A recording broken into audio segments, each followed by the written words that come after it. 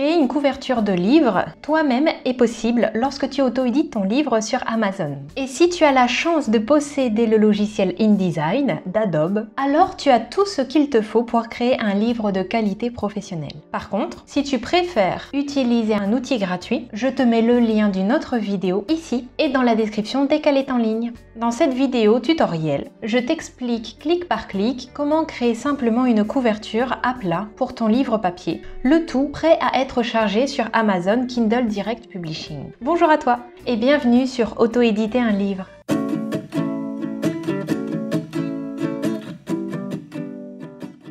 Je suis Émilie Varier, romancière auto-éditée et fondatrice d'auto-éditer-un-livre.com, le site internet dédié à l'auto-édition. Depuis 2018, je soutiens les auteurs dans l'auto-édition de leurs livres, notamment sur Amazon KDP. Bienvenue dans ce tout nouveau format de vidéo. Cette fois, la vidéo est plus longue et c'est mon écran que tu vas regarder. Je tiens à remercier tous les abonnés, les premiers, celles et ceux qui me connaissent déjà et qui découvrent un nouveau pan de mon aide auprès des auteurs auto-édités, mais aussi les nouvelles et les nouveaux. Merci et bienvenue à toutes et à tous. Et bienvenue à toi. Bon, avant de commencer, je tiens à préciser que je ne suis pas graphiste. J'utiliserai donc un vocabulaire et des techniques à la portée de tout à chacun. Ce qui tombe bien, car tu n'es sûrement pas graphiste toi non plus. Petite parenthèse, ce tutoriel est prévu pour la publication du livre sur Amazon. Lorsque tu passes par un imprimeur, dit classique, ou une autre plateforme d'impression à la demande, il se peut que certains détails soient différents. Concernant les images et les couleurs, il faut savoir que le mode de couleur RVB convient mieux au travail numérique, tandis que le mode C CMJN est utilisé pour les produits d'impression, mais Amazon accepte d'imprimer les fichiers en RVB aussi.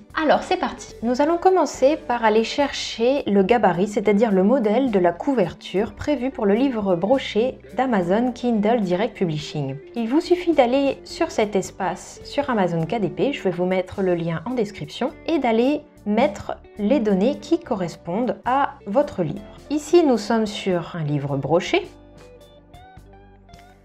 en noir et blanc. C'est un papier crème que nous allons choisir qui se lit de gauche à droite. L'unité de mesure, tant qu'à faire, on va prendre du millimètre, c'est plus simple. Et la taille de coupe, on va prendre du 13,97, c'est-à-dire 139,7 par 215,9 mm. Et je sais d'ores et déjà que le livre fait 300 pages. Et je clique sur calcul des dimensions. Je peux aussi télécharger le modèle, je vais vous expliquer ensuite à quoi cela correspond. Et nous obtenons ici tous les détails et toutes les mesures dont on a besoin pour créer ce fameux livre. Je vais conserver cet écran et je vais aller l'enregistrer dans un dossier de téléchargement, mon premier roman, et je vais l'appeler Gabarit, livre broché Amazon.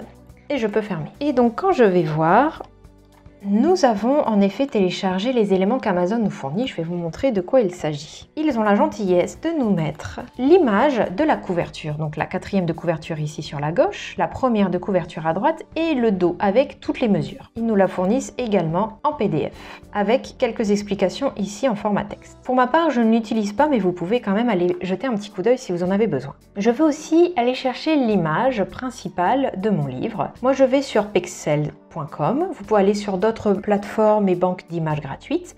J'ai d'ores et déjà sélectionné mon image, donc je vais cliquer dessus, cliquer ici et prendre le format. Euh, il y a souvent des formats originaux, parfois encore plus élevés, du 5000 et quelques de pixels.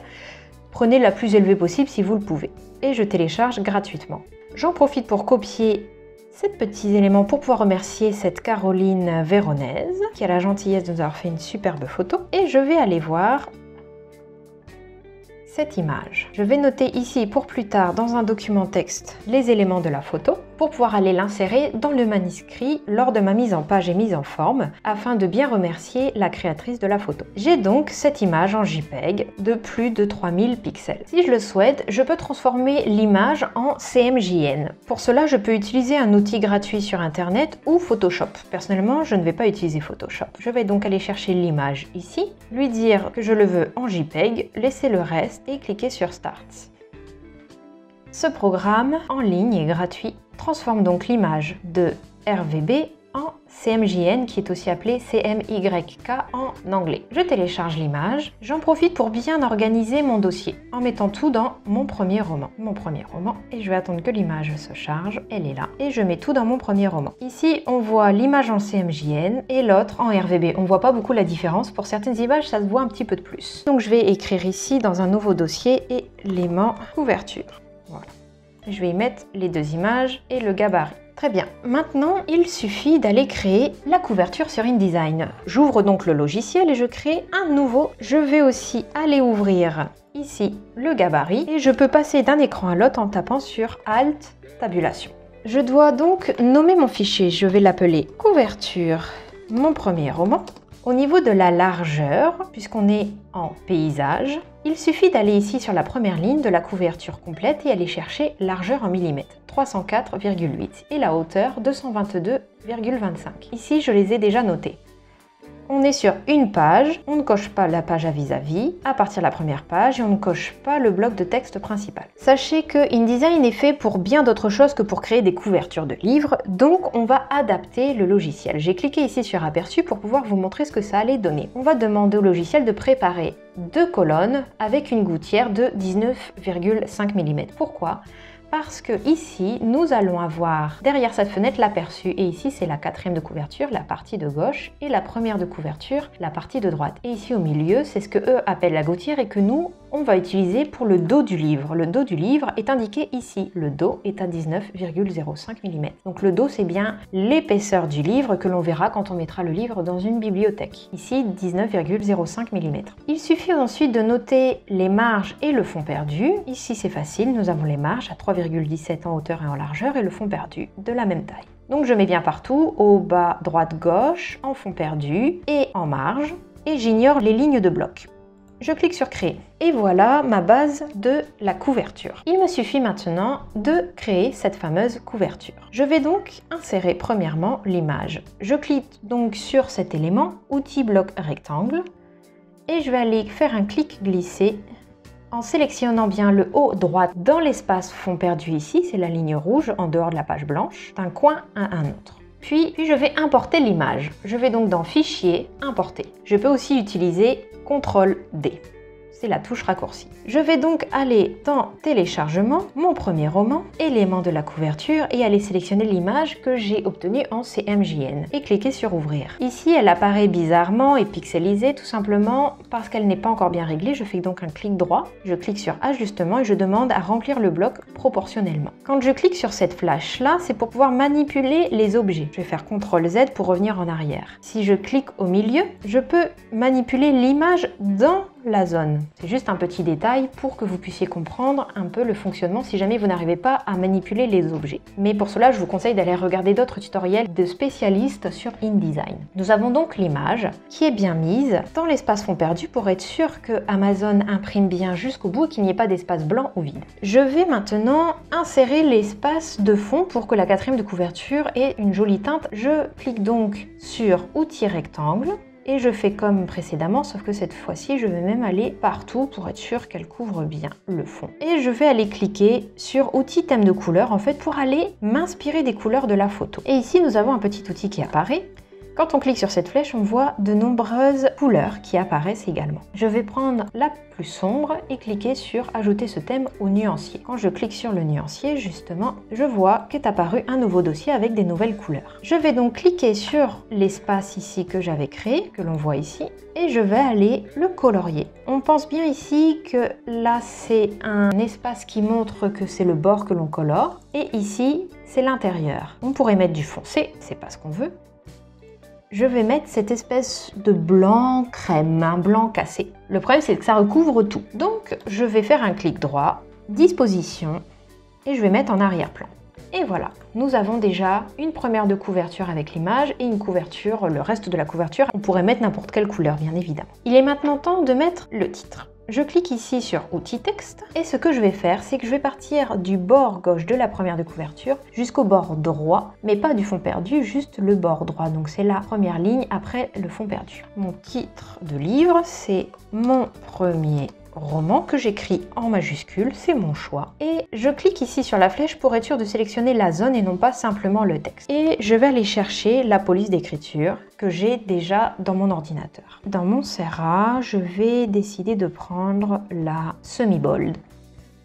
Je vais le centrer et je vais prévoir ici dans le paragraphe 20 mm à gauche et 20 mm à droite. C'est-à-dire qu'ici, entre le bord de la zone et mon texte, à gauche et à droite, il y aura minimum 20 mm. Ça, c'est pour être certaine que mon texte ne va pas aller trop toucher les bords et qu'il soit vraiment mieux proportionné par rapport à la couverture et donc que ce soit plus harmonieux. Je clique sur la césure, je ne veux surtout pas de césure dans mon titre, c'est-à-dire de petits tirés en bout de ligne. Et petite option qu'un graphiste m'a conseillé, je clique ici sur optique, c'est-à-dire que l'espace entre les caractères sera optique et non pas métrique. Et je augmenter la police d'écriture. Avant cela, je peux aussi augmenter l'espace entre les lettres et je vais aller augmenter comme ça mon texte jusqu'à obtenir la taille que je veux. Moi, je veux quand même quelque chose de bien grand. Ici, j'ai dépassé. Vous voyez, quand je saute, quand c'est trop grand, comme il m'a prévu une marge de 20 mm de chaque côté, il m'indique que ce n'est plus possible. Donc, je reste ici.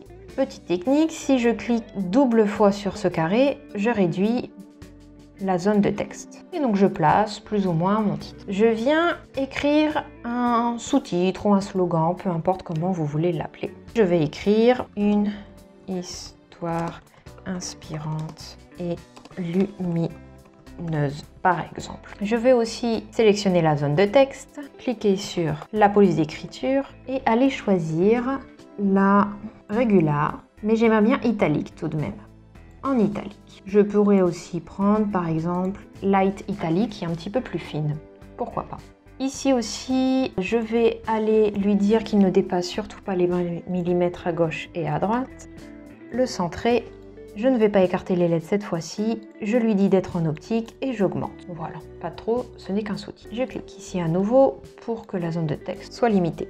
Petite astuce, dans votre clavier sur la touche W, vous obtenez le résultat sans toutes ces lignes bleues et roses qui perturbent un petit peu. Très bien. Je vais ici cliquer sur le titre, je vais taper sur CTRL C pour copier, CTRL V pour coller, pour obtenir plus ou moins le même paramétrage pour le nom de l'auteur, qui va s'appeler, on va dire, en majuscule, Amandine Perron. C'est inventé. J'espère qu'il n'y a pas d'homonyme. Je vais aller quand même changer un petit peu la taille parce que c'est vraiment trop gros. Et ici, je vais aussi réduire. Et voilà, nous avons le nom de l'auteur. Ici, c'est en noir. Pourquoi? Parce que quand je clique ici dans le nuancier et dans le texte, on voit bien que c'est du noir. Donc on choisit bien, ce n'est pas l'objet mais le texte que l'on veut colorer. Et je vais lui dire de prendre non pas du noir mais cette espèce de marron foncé qui provient de l'image. Je vais faire pareil pour ce sous-titre, je clique donc sur le texte et sur la couleur également pour le nom de l'auteur, mais ici, je ne vais pas choisir du foncé, je vais plutôt aller choisir du plus clair, parce que si je mets du foncé, c'est pas très visible, ni lisible. Et voici ma couverture, en tout cas la première de couverture. C'est plutôt pas mal. Maintenant, il me reste à aller choisir et intégrer la quatrième de couverture. Je vais donc aller chercher mon texte de quatrième de couverture, mais avant, je vais aller préparer la zone de texte. Donc ici aussi, je vais prévoir cette zone. Au lieu d'écrire quelque chose, je peux très bien aller le chercher ailleurs. Je vais donc aller chercher le texte. Je l'ai prévu. Je fais donc CTRL tabulation pour aller à nouveau dans mon dossier. Ici, j'ai mon texte de quatrième de couverture.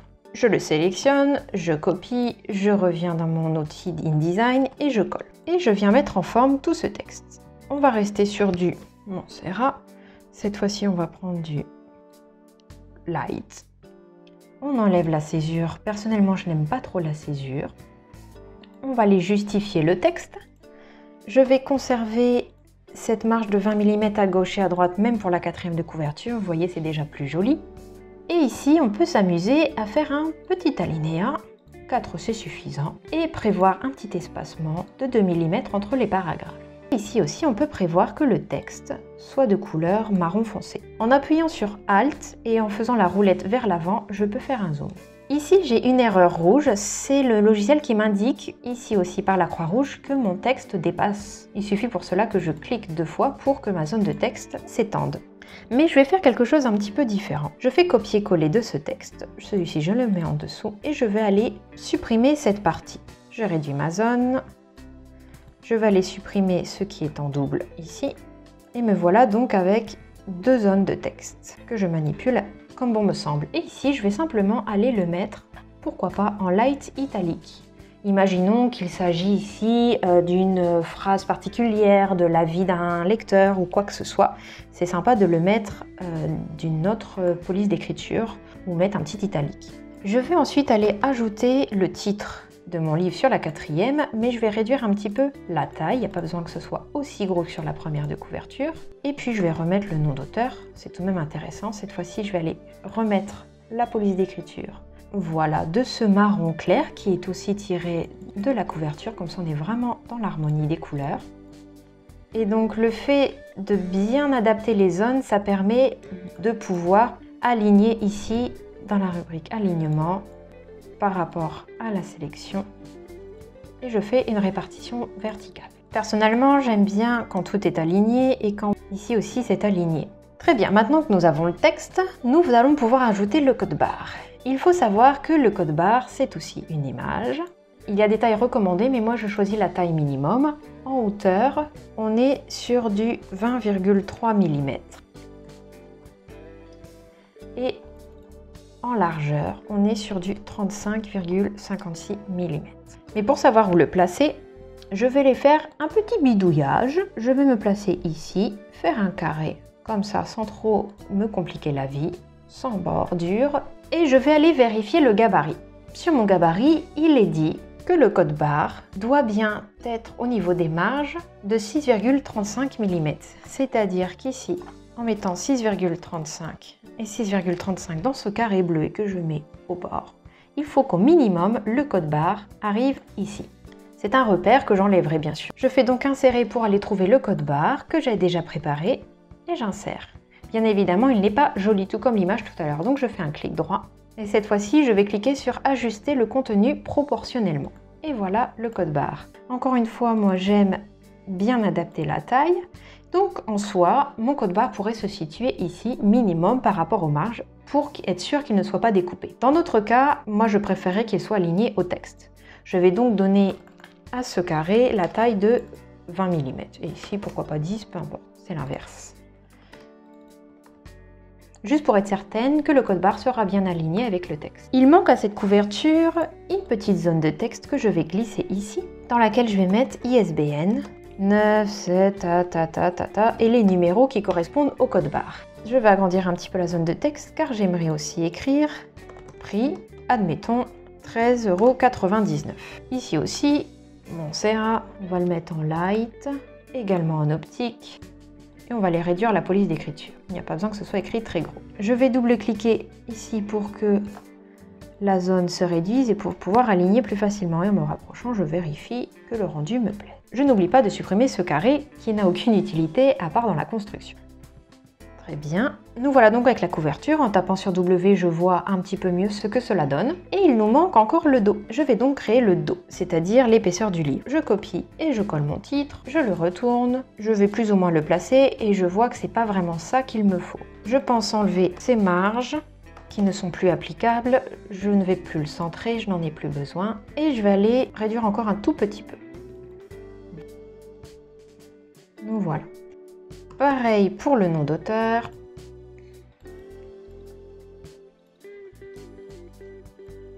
Je réduis encore un petit peu. Et je vais laisser ça de la même couleur. Ici, si je veux être sûr de bien aligner, je peux cliquer ici sur les marges et bien centrer sur le document. Mais ça y était déjà grâce au repère. Je vais descendre sur un tout petit peu plus. Et voilà. Et je regarde le rendu. Ça m'a l'air pas mal. Quelques petits détails. Je pense qu'ici, c'est encore un peu trop grand, donc je vais aller réduire. Mais ça, c'est vraiment des questions de goût et de couleur. Ça ne se discute pas vraiment. On est bien centré. Et voilà. Bien entendu, la visualisation ici, elle est simplifiée, c'est-à-dire que l'on verra différemment une fois qu'on va extraire, ce que l'on fait dès maintenant. Je pense enregistrer un peu plus souvent, bien évidemment. Et je vais aller exporter mon fichier. Nous, ce que l'on veut, c'est du PDF impression et non pas interactif ni quoi que ce soit d'autre. Une fenêtre s'ouvre pour pouvoir paramétrer. Tous ces paramétrages-là sont tirés de tutoriels que j'ai regardés sur InDesign euh, par des graphistes euh, professionnels. Mais vous pouvez peut-être trouver d'autres réglages qui vous conviendront mieux. Je choisis qualité optimale, qui est modifiée puisqu'en effet j'ai modifié des éléments par-ci par-là, notamment la compatibilité. Je choisis Acrobat 8 sur 9, c'est-à-dire la dernière version de PDF. Je laisse tel quel, je ne coche aucune case. Au niveau de la compression, vous pouvez voir ici tous les réglages. Tout ce que je veux, c'est bien du JPEG au niveau de la compression des images. Ici, je ne coche aucun repère ni de fond perdu. C'est différent lorsque l'on envoie la couverture à un imprimeur qui a peut-être besoin de lignes et de traits de coupe ou du fond perdu. Ici, on n'en a pas besoin avec Amazon. Au niveau de la sortie, je veux en effet que ce soit en CMJN, c'est-à-dire bien les images en CMJN. Ici, je ne change rien, je ne change rien ici, et ici non plus. Et je clique sur Exporter. Et voici la couverture finale. Je peux fermer le fichier et je vais aller tester ça tout de suite sur Amazon. Je me rends sur mon livre, j'ai déjà paramétré la bonne taille, chargé le manuscrit et je vais aller charger la couverture qui se trouve donc ici. Je lance l'outil de prévisualisation d'Amazon.